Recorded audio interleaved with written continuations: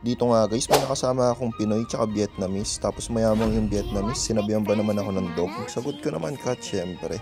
Kasi gusto niyang gamitin yung bagong hero kaso ako yung sinwitch. Tapos nagulat na lang ako dun sa S4, sabi ba naman niya sa akin bida-bida daw ako. Kasalanan ko ba nga ako yung sinwitch nung S5? Pogi ako!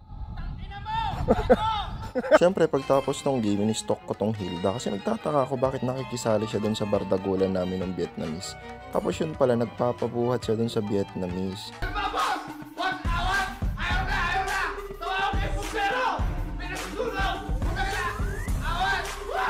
Kaya naman pala nakikisimpatya tong kumag na to, nagpapabuhat sa ibang lahi, no? Kapal moks din eh.